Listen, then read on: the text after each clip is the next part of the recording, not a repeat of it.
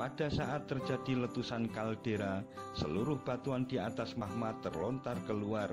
Karena fragmen batuan pejal dan keras memiliki berat jenis tinggi, material tersebut tertinggal di tepi kaldera. Sementara abu gunung api dan batu apung yang ringan mengendap jauh dari sumber.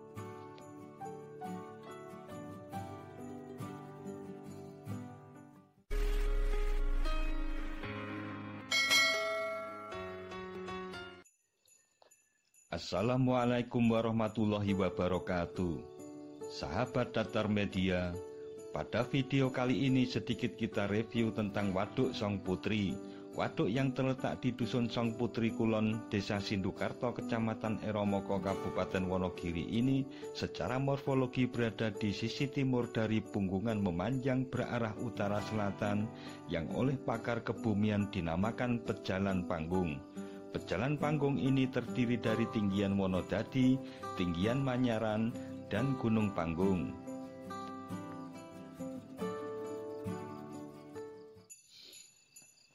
Waduk Song Putri yang diresmikan pada 22 Agustus 1985 di era Presiden Soeharto ini tersusun oleh perselingan breksi aneka bahan lapili batu apung, tuf batu apung yang sebagian tertutup oleh batu gamping formasi Wonosari dan aluvium.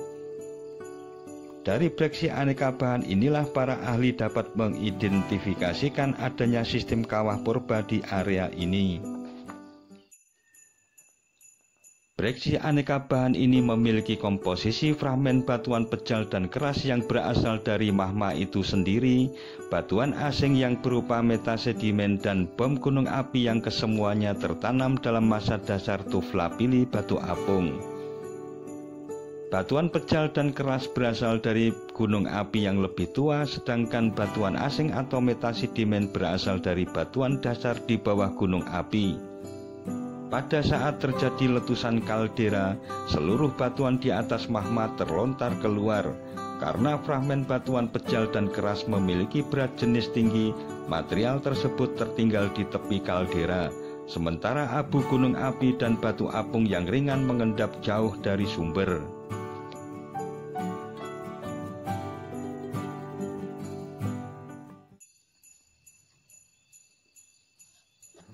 Waduk Song Putri selain berfungsi sebagai irigasi juga sebagai penampung sedimen untuk mengurangi kecepatan pendangkalan di Waduk Gajah Mungkur.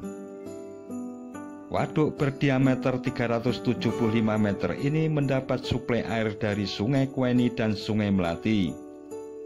Pada kondisi normal, Waduk seluas 2,67 km persegi ini mampu menampung air sebanyak 651.000 meter kubik dan dapat melayani area seluas 517 hektar.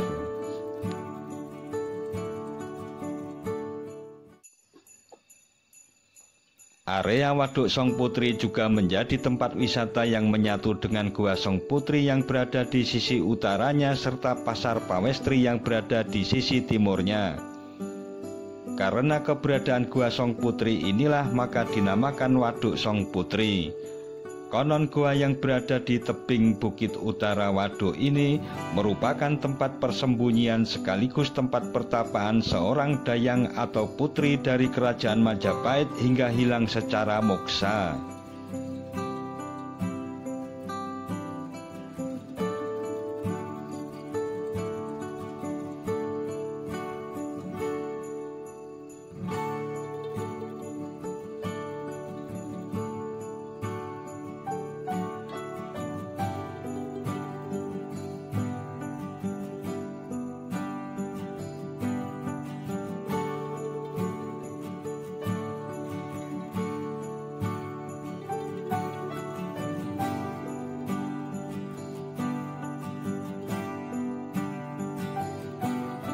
Tersedia anak tangga dengan pagar sebagai pegangan karena cukup terjal untuk mencapainya.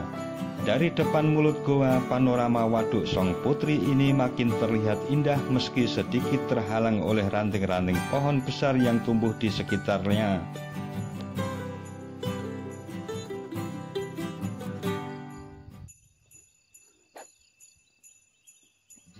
Pengeboran yang dilakukan saat pembangunan waduk memberikan informasi susunan batuan dasar penyusun waduk Song Putri. Dari batuan hasil pemboran ini, terdapat batuan beku andesit piroksin yang menjadi pendukung kuat adanya fosil gunung api purba di kawasan Pejalan Panggung. Batuan tersebut diyakini sebagai produk erupsi lelean gunung api purba Wonodadi.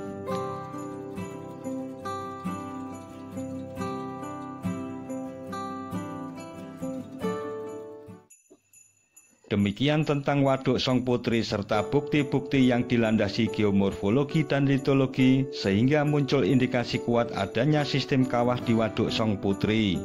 Jangan lupa untuk subscribe dan tekan tombol loncengnya agar selalu mendapat pemberitahuan video terbaru dari Datar Media. Sekian dan wassalamualaikum warahmatullahi wabarakatuh.